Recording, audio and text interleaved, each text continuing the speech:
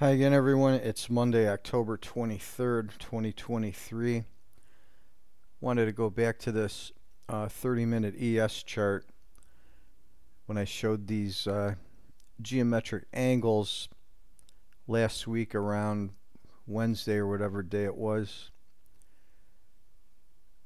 The day I showed the chart, the price was right here where I've got the green arrow so you can see what the uh, price action since then has looked like around these angles.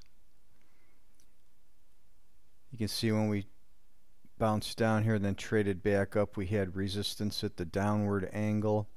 It broke, hovered around there, made a little bump up to the uh, horizontal angle coming across, hit that, rejected right off of that and back down and through hit the lowest angle that I had coming up off the low here. That became kind of a gravity center for quite a few hours as price bounced around that point.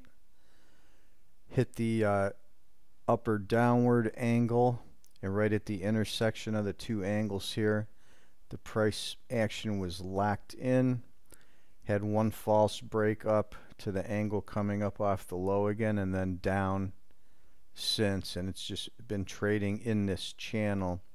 So right now this channel is containing the price action. So we'll see how that plays out from here. But those angles are helpful and you can trade off of those